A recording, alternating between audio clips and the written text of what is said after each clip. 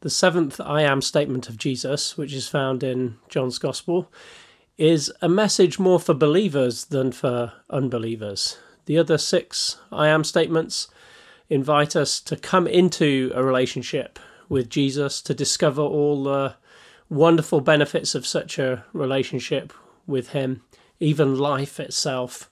But this statement invites us to remain in that relationship.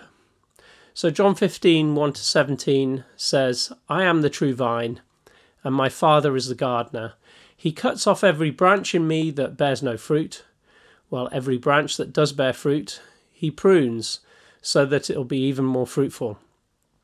You are already clean because of the word I've spoken to you. Remain in me, and I also remain in you. No branch can bear fruit by itself, it must remain in the vine. Neither can you bear fruit unless you remain in me. I am the vine, and you are the branches. If you remain in me and I in you, you will bear much fruit. Apart from me, you can do nothing. If you do not remain in me, you're like a branch that's thrown away and withers. Such branches are picked up, thrown into the fire, and burned. If you remain in me, and my words remain in you, ask whatever you wish, and it will be done for you. This is to my Father's glory, that you bear much fruit, showing yourselves to be my disciples. As the Father has loved me, so I have loved you. Now remain in my love. If you keep my commands, you will remain in my love, just as I've kept my Father's commands and remain in his love.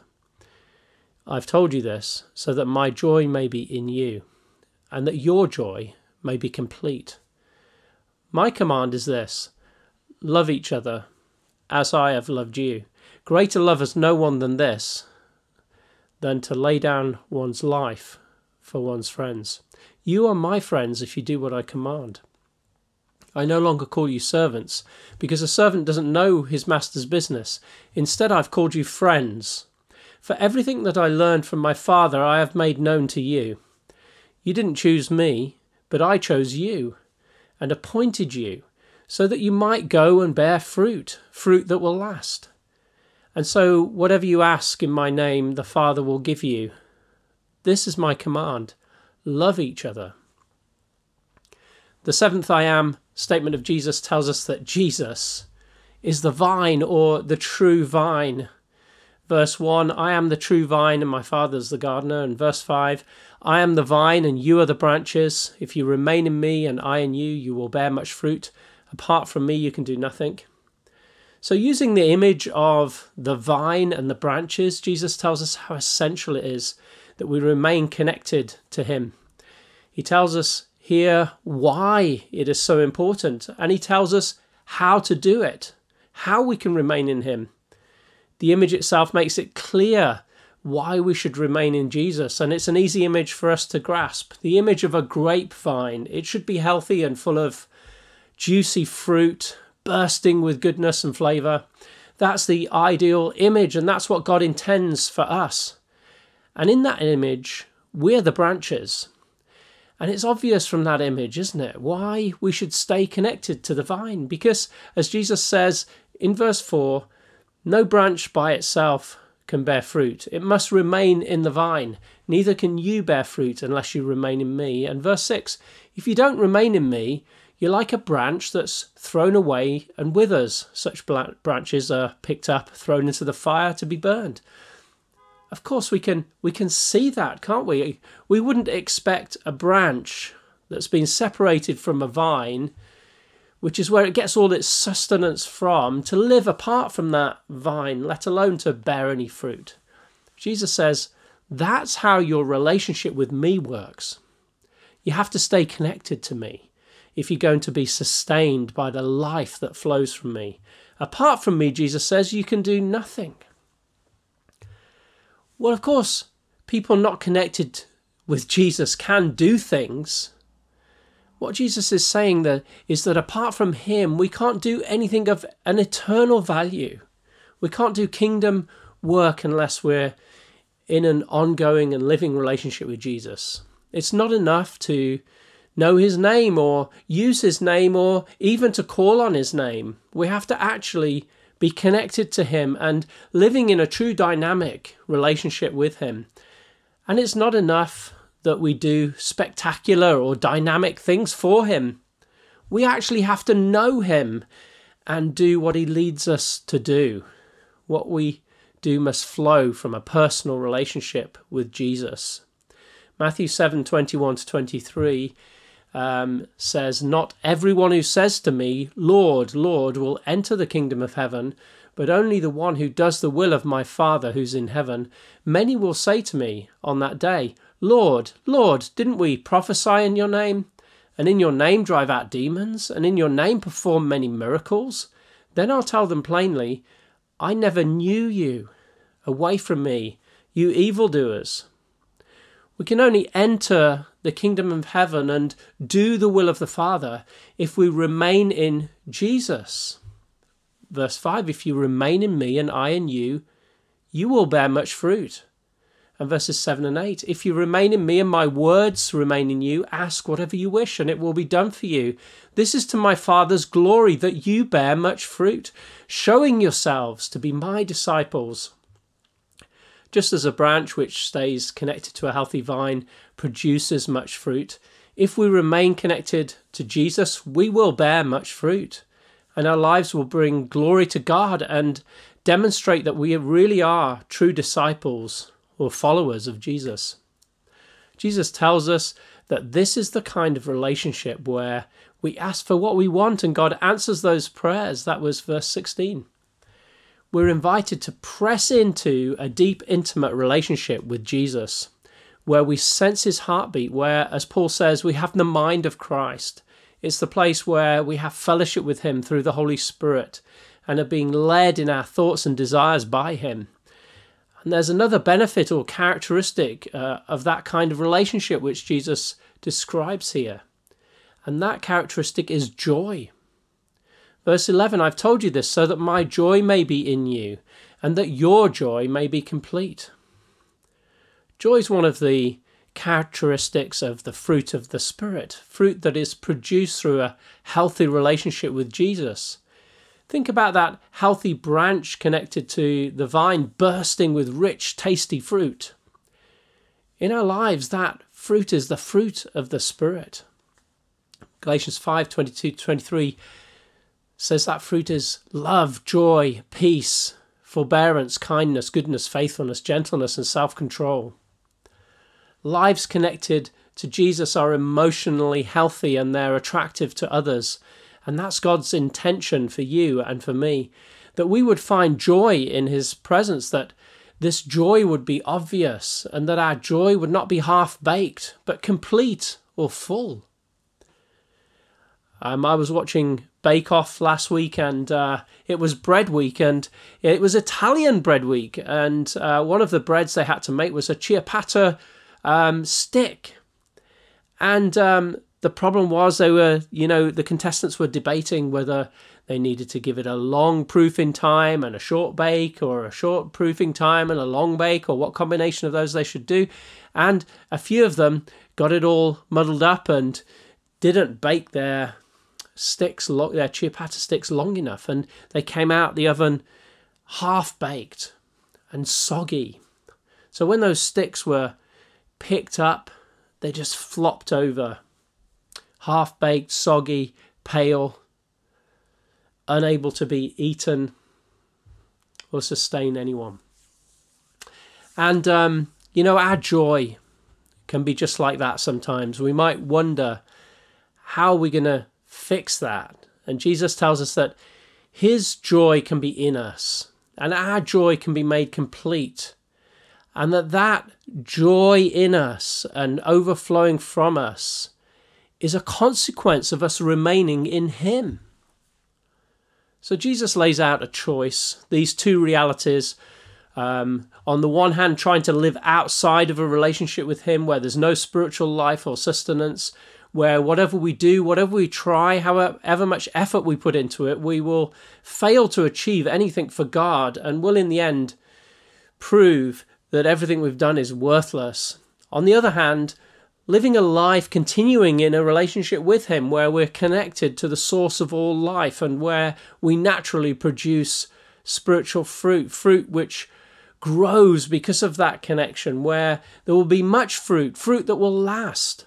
Jesus tells us through that relationship, our prayers will be answered. There'll be an infilling and an overflowing of joy, and God will be glorified through our lives. So, how do we remain in Jesus? How can we stay connected to the vine and be like that?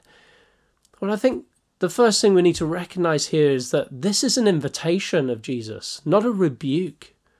I realize that some of you, as you've been listening to that description of what a healthy relationship with Jesus looks like, have been getting discouraged, comparing your relationship with this wonderful picture and thinking that maybe you just don't measure up.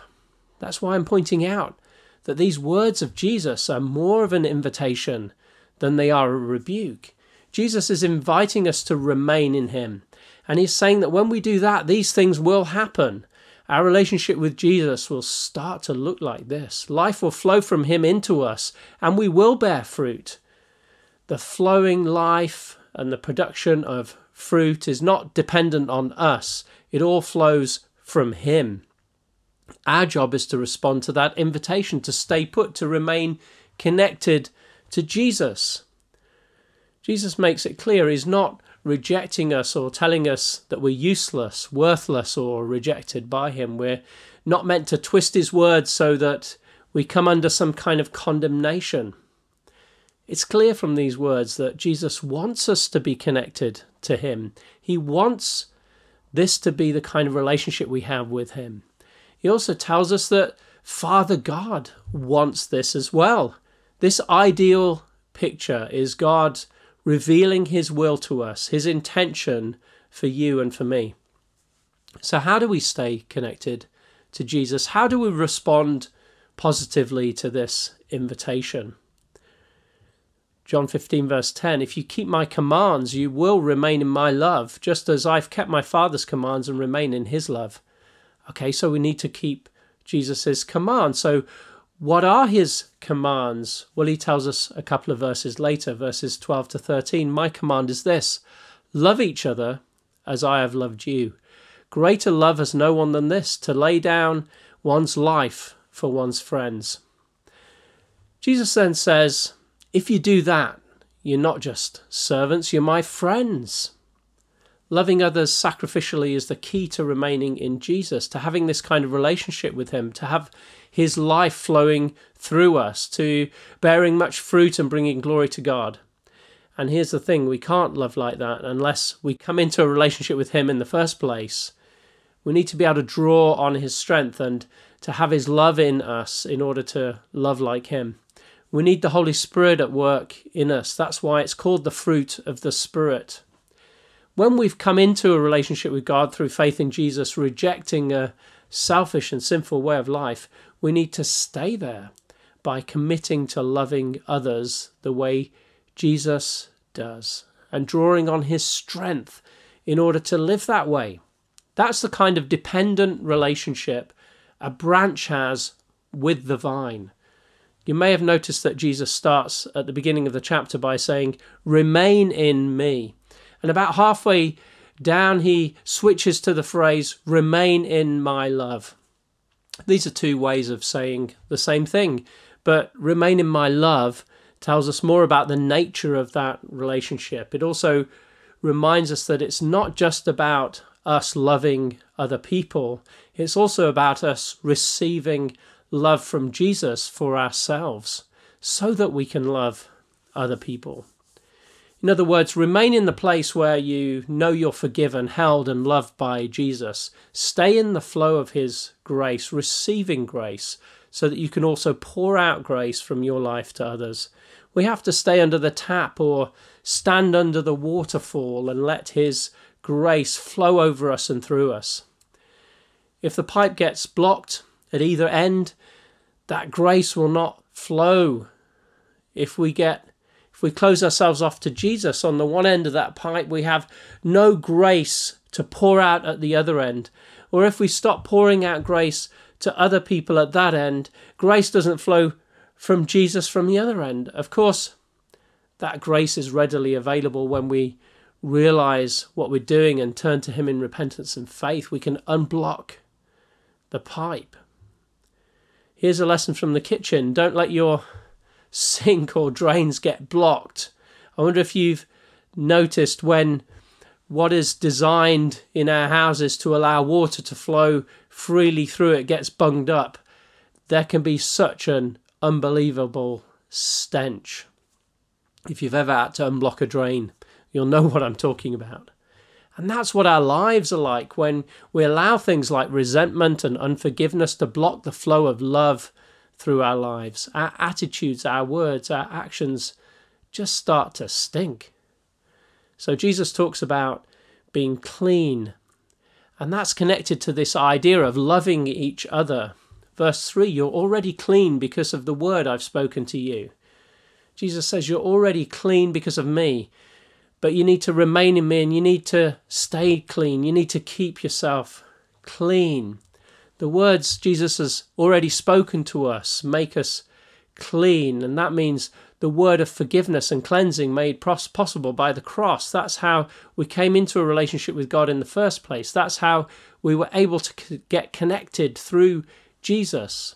But how do we stay clean? How do we continue loving God and loving others the way that Jesus says we should? You know, there's been times when I've messed up in my own life and I've wanted to just reach inside myself and re- rewire my inner workings to somehow pull all of the bad stuff out and create in myself a pure heart. But, you know, it's impossible for anyone to do that. And I've cried out to God in those times for Him to do that. And it's something I just can't do myself. But these verses remind us that we're not the ones who have to do that. And we're not alone in that battle. Jesus tells us the Father is at work on our behalf. Verses 1 and 2 I'm the true vine, and my Father is the gardener. He cuts off every branch in me that bears no fruit, while every branch that does bear fruit he prunes, so that it will be even more fruitful. God the Father helps us get clean, so that we can remain in Jesus and bear much fruit. He does that by pruning us, by cutting away the things in our lives which don't belong bitterness, unforgiveness, malice, slander, hatred, jealousy, lust, greed, selfish ambition, all these unloving attitudes which would block that flow of grace and prevent us from bearing much fruit. We may be content with producing some fruit, but God's not content with that. Every branch that does bear fruit, he prunes so that it will be even more fruitful. These verses tell me something very encouraging the fact that God hasn't finished with us yet. His intention is that we will be like branches loaded with lush fruit, connected to that beautiful vine. God has bigger plans for us spiritually than we realize. Sometimes our lives can get crowded by activities which have no eternal value, and when that happens, the joy of a relationship with Jesus starts to wane. Those are times when we need to yield our lives to the Father for Him to prune us. It feels great to be clean. It feels great to be in the flow of God's grace. But a continual cleansing and pruning is necessary for that to be the case. Hebrews 12, verse 1, and this is the New Living Translation says, Therefore, since we are surrounded by such a huge crowd of witnesses to the life of faith, let us strip off every weight that slows us down, especially the sin that so easily trips us up, and let us run with endurance the race God has set out before us. You may find it difficult to physically run, but God's calling us to run spiritually to be fit and healthy and unencumbered so that we can produce much fruit, fruit which will last. And that will happen if we remain in Jesus, remain in His love, and yield to His work in us. There's a great encouragement in this chapter encouragement to see ourselves as we've never seen ourselves before, no longer slaves, but called friends by Jesus. And in verse 16, chosen and appointed by Jesus to bear eternal, lasting fruit. This wasn't even our idea. God had a greater plan, a higher plan for our lives, and He's calling us to step into that plan so that we can experience this abundantly joyful and fruitful life. He's calling us by His Spirit through these powerful anointed words of Jesus. Verse 5 I am the vine, you are the branches. If you remain in me and I in you, you will bear much fruit. Apart from me, you can do nothing. Is there something you need to yield to Him today in order to remain in Him?